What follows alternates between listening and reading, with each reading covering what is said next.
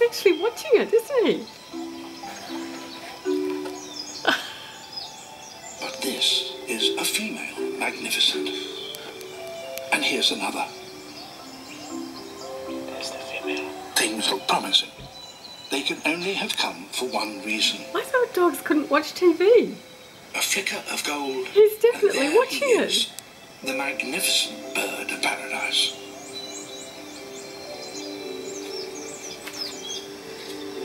Is amazing. The male Look at him.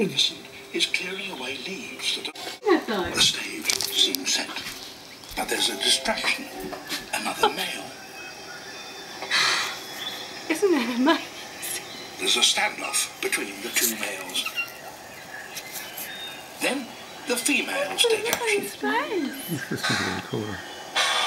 Surprisingly, they charge the intruder. That is incredible. You pause it, mate.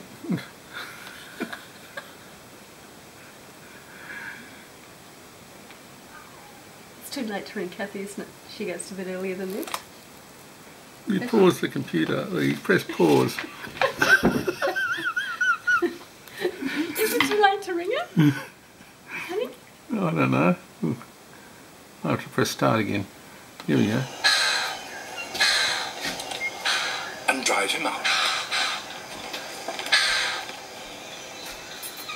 Isn't that incredible? Look, he's watching. He's watching it intently. He's a David Attenborough fan. to himself, the court maker can give the most interested female all his attention.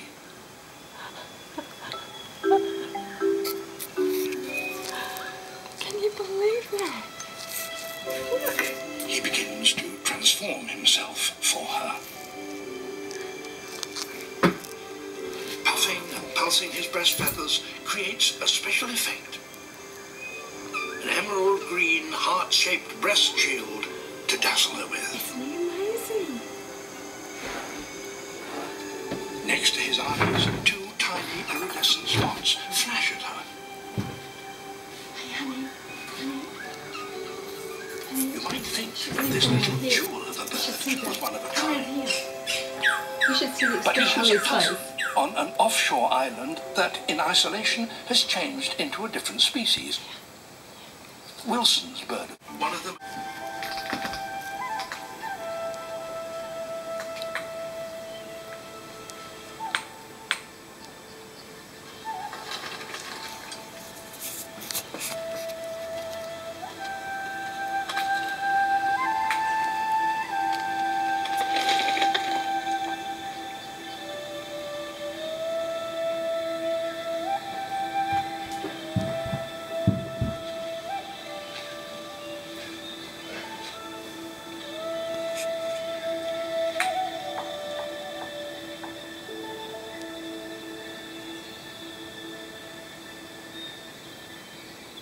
Seeing the Parotia dance gives Miriam an insight into the intimate rituals of her people.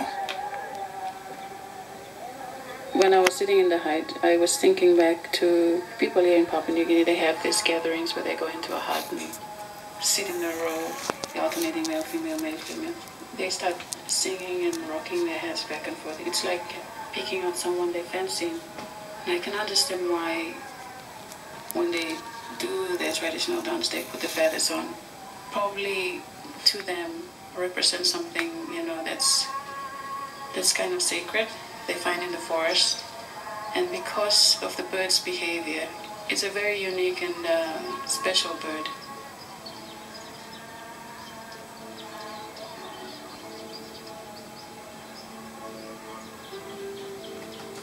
Papuans are steeped in the mysteries of their tribal past. Nobody knows it all. Only that birds and humans have been together for thousands of years. The desire to possess the beauty of the birds is an ancient obsession.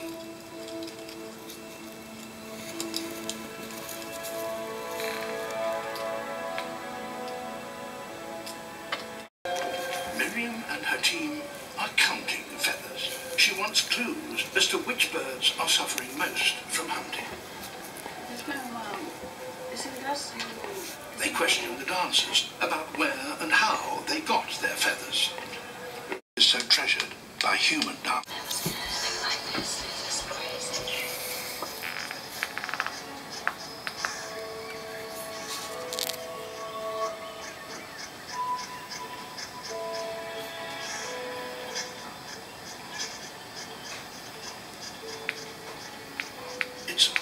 Of such exquisite beauty, it seems unfair that no female is here to see it.